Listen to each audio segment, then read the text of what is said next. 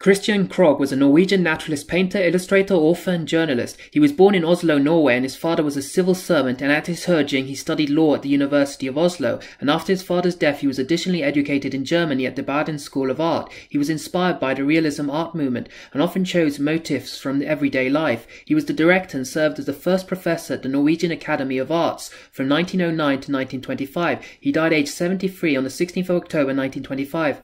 Please like, comment and subscribe. Thank you all for watching.